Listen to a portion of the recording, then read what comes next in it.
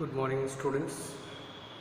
So this is Mukesh once again going to present my next video for the students of class 9th. Students, in my previous video I discussed about the initials of the story in the kingdom of fools. This is the rest part of the same story students at the end of this video you will get some questions for the home assignment which you are supposed to answer in your notebook although i have tried my best to give you assignment to note at the end of the story at the end of every chapter and i hope you are doing in your notebooks. So this is the final video for this story. In this we discussed the king was sitting in his court, he was sitting in his throne, the guilty was before him, merchant was there, the old lady was there, the thief's brother was there and the wise ministers. Since they could not find a man who could fit to the stake which was prepared for hanging the victim, therefore his wise ministers advised the king to find a man who could fit this uh, stake. The ministers and his messengers went into the whole kingdom. They roamed here and there in the search of such men. Finally, they found a man who could fit it. This was none other than the disciple whom his guru tried his best to persuade him to leave the village but because of the temptation of getting everything so easily, because of getting everything so cheap, his temptation towards eatables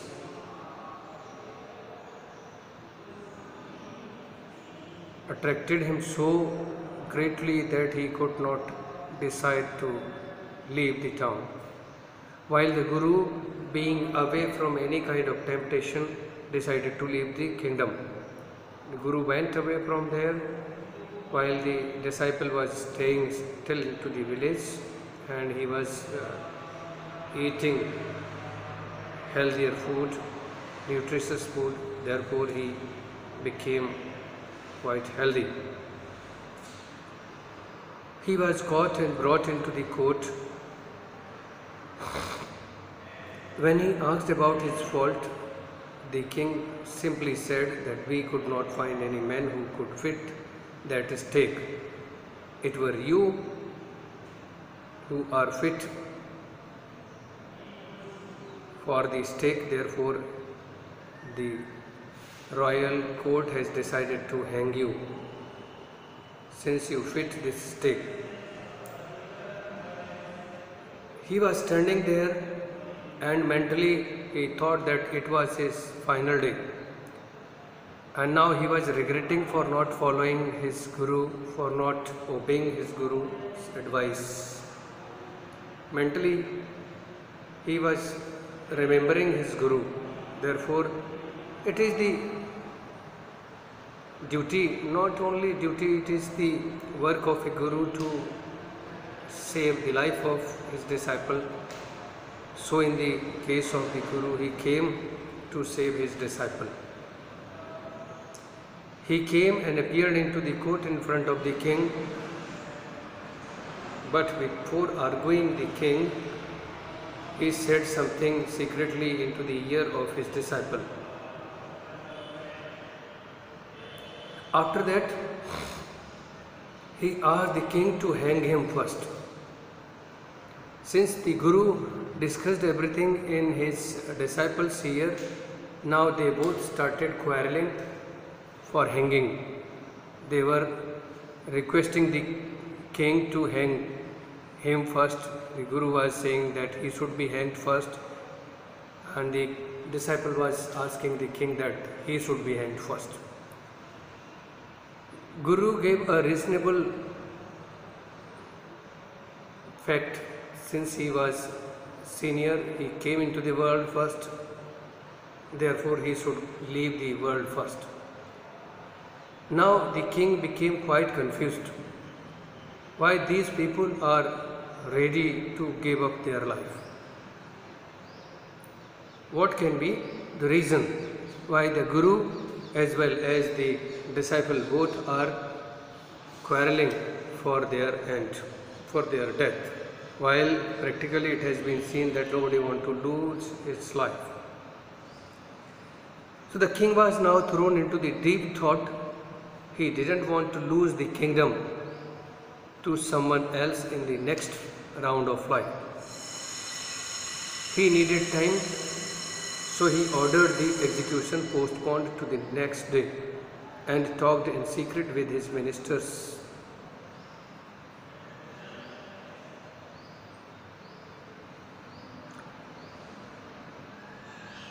Since the king was confused, he was asking the reason.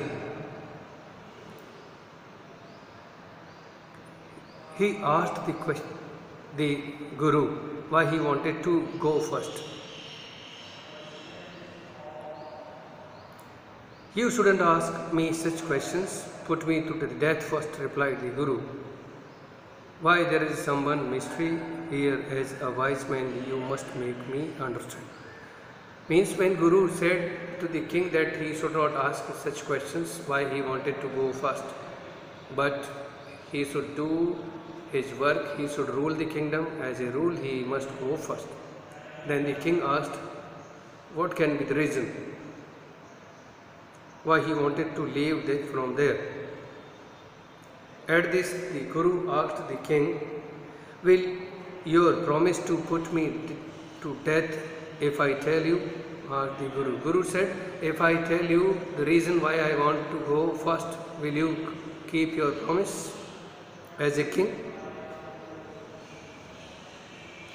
The king gave him his Solomon words means king, the king promised him that he will do the same. The Guru took him aside out of the servant's earshot.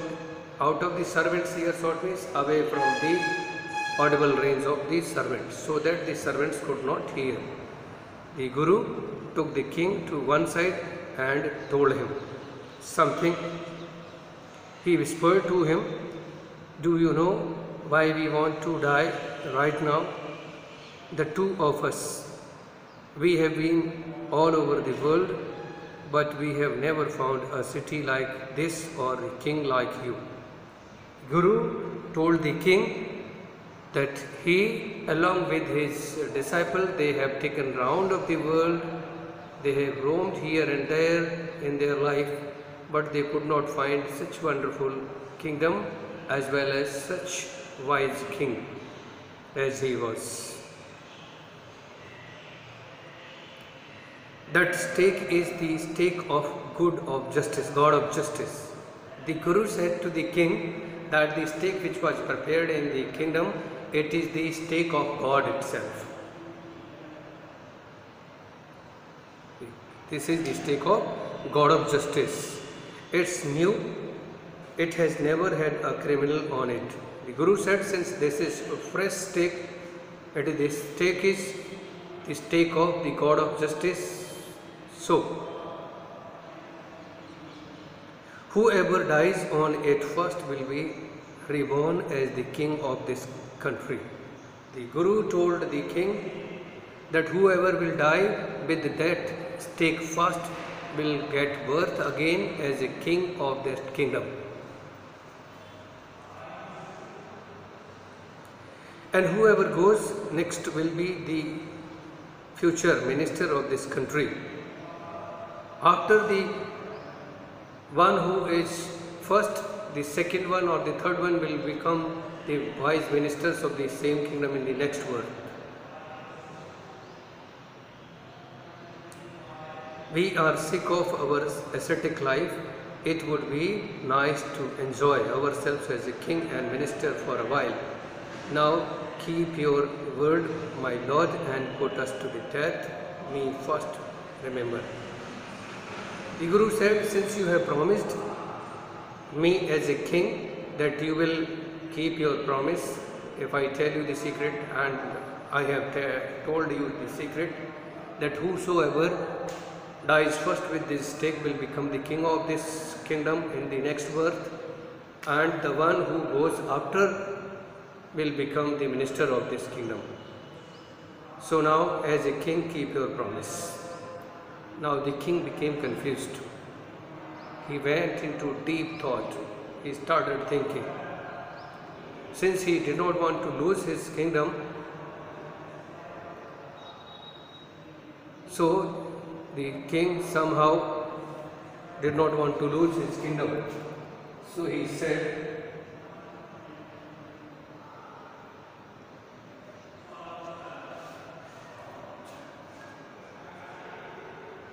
He ordered his ministers as well as the victim who were into the court. He said, Now the justice is postponed, it will be decided the next day and he talked in secret with his ministers. He said, It's not right for us to give over the kingdom to others in the next life. He told his ministers that it will not be good that we should hand over this kingdom to someone else for the next life. Let's go on, this take ourselves and we will be reborn as the king and ministers again he told his ministers that they will become the king and the ministers of the same kingdom in their next life. Therefore, it will be better for them to go on this stake first.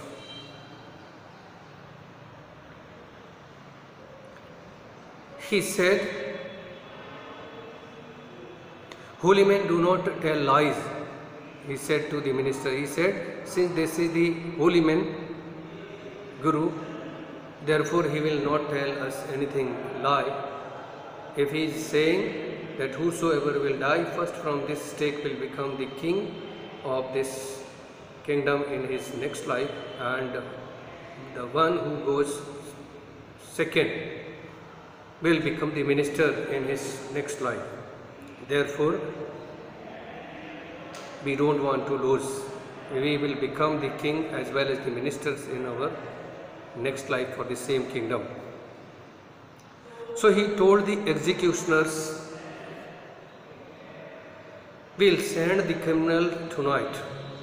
When the first man comes to you, put him to the death first, then do the same to the second man. Those are my orders. Don't make any mistake. He who told the persons who were responsible for execution, he told them that I will send some victims tonight. Therefore, the one who comes first, you are supposed to hang him first. And the one who comes later, you will hang him later. And he also warned him not to make any kind of confusion, not to make any kind of mistake in his order. This was the royal order. So he told his executioners in this way. That night, the king and his ministers went secretly to the prison, released the guru and the disciple, disguised themselves as the two, and as arranged before with the royal servants, were taken to the stake and promptly executed. As the king already ordered his executioners Therefore, during night the king along with his ministers entered into the jail. They released the Guru and the disciple. They both disguised. They came into the form of the Guru and the disciple. So the king came first in the, in the form of Guru. As it was told by the king to his executioners they were hanged.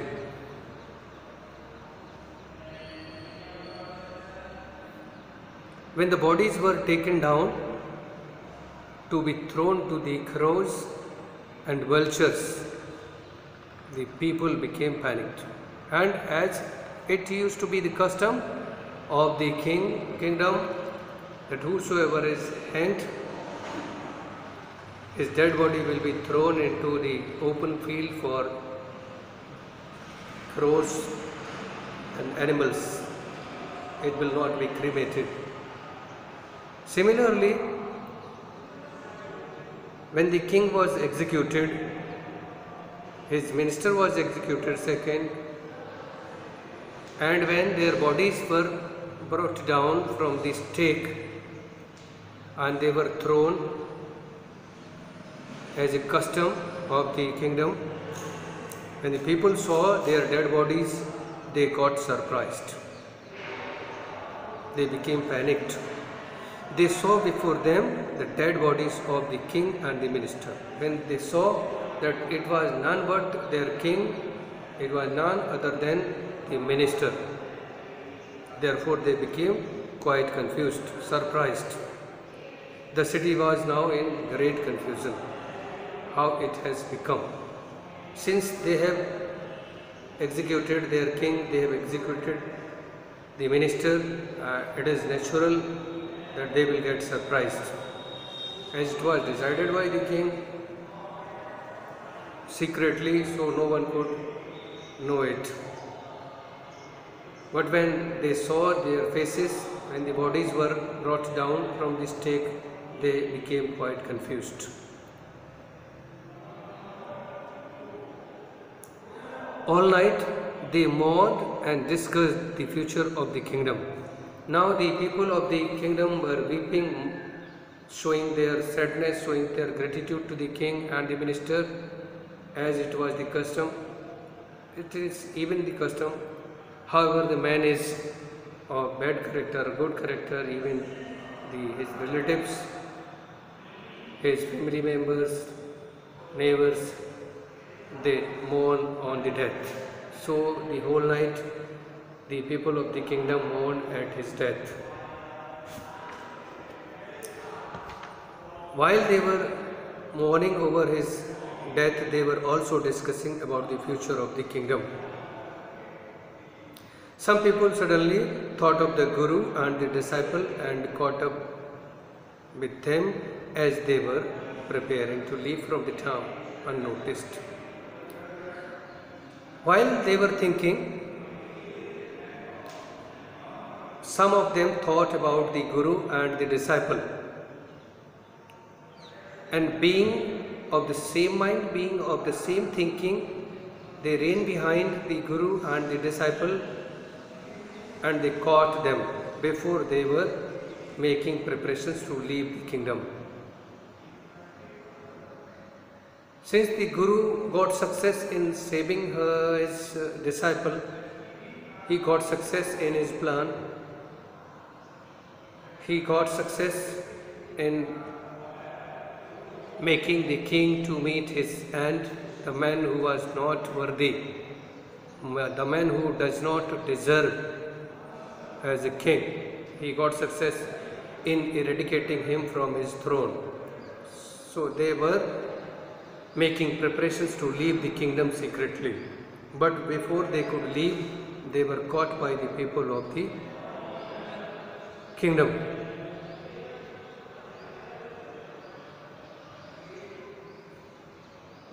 We people need a king and a minister, said someone. Out of these people, someone said that they needed a king and a minister. Since the kingdom was without minister, since the kingdom was without this king, therefore the people said that they needed a disciple, uh, sorry, a king and their minister. A kingdom cannot survive without a king.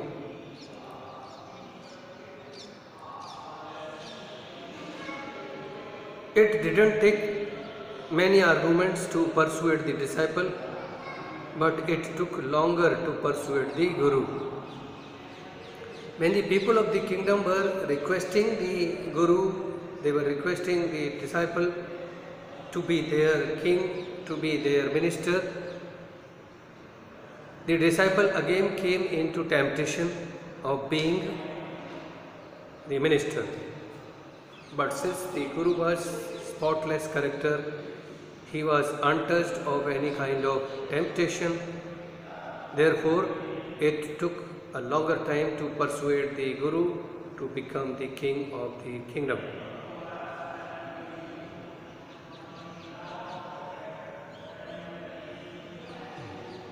They finally agreed to rule the kingdom of the foolish king and the silly minister on the condition that they could change all the law and old orders. Although Guru was not ready to be their king initially, but upon the great and continuous request of the people of the village, the Guru agreed to become their king. But before becoming a king, he put a condition. The condition was that the old system of ruling would be resumed. The system which was changed by the foolish king will be changed now. In this way, the Guru asked the people that he would have the power to change the system of ruling. Means he will make the day as day, he will make the night as night. Because it was changed by the king, now the king is no more in this world, therefore the system will not continue in the same way.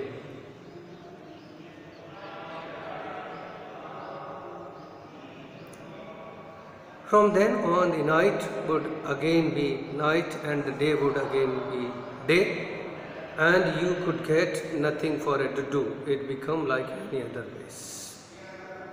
The second change which the Guru wanted to make in the kingdom or in the ruling system of the kingdom, he said, I will make the day as day, the night as night, mean the system which is adopted by the foolish king will not continue. Secondly, till now everything was available for a single duddu will not be available. The prices will be according to the cost of according to the value or according to the importance of the subject or importance of the things. Everything will not be available for a single duddu. When the people of the kingdom agreed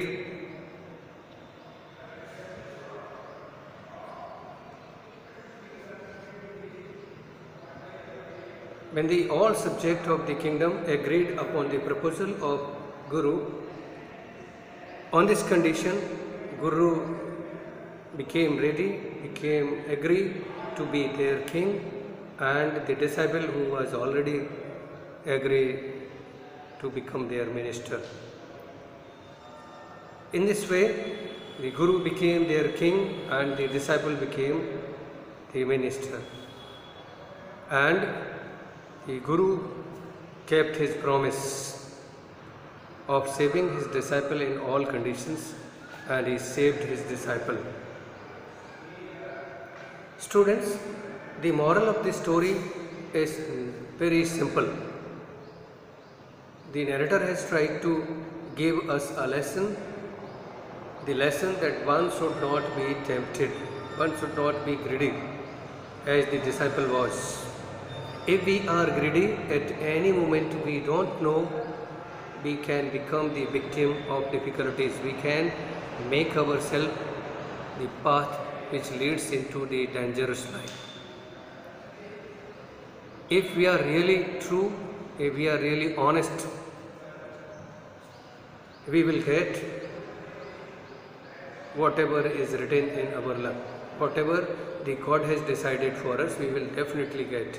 Only we need that is honesty. We have to work honestly, we have to do our work without being dishonest. Simply, you have to follow the life of honesty, the life of simplicity. It's not good to be much ambitious. it is good to be ambitious because uh, if there are no ambitions in our life, it won't be interesting. Ambitions are also necessary, but the limitation for these ambitions should be there. Without limitations, we cannot survive. We won't be able to decide the goal, we won't be able to decide the direction of our action if there are no limits for ambitions. Therefore, one should be ambitious, but the ambitions should be definite. Ambitions should be up to an extent, they should not be limitless. And we never think of getting them because whatever God has decided, definitely we will get, definitely it will come to our way. The way Guru knew everything, whatever the God has decided, he believed in the existence of God, he believed in the acts of God, he believed in the justice of God. But the disciple who was quite ambitious, but he did not have patience, he did not have faith, he did not have faith in God, he did not have faith in his Guru. How can we say that he did not have faith in his Guru? It is said that we must be a follower, not the blind follower. I am also saying that we must not be blind follower. The disciple should also not be blind follower, and he was also not a blind follower. But while checking, while analyzing his Guru, he forgot the simple principle of life, the simple way of ruling. He checked his Guru while checking, he forgot the patience, the principle of waiting. It is said the patience gives better results. This principle he forgot, he wanted to be enjoying everything, he wanted to enjoy everything which was available at single duddu in the kingdom of. Therefore, he disobeyed his Guru's order.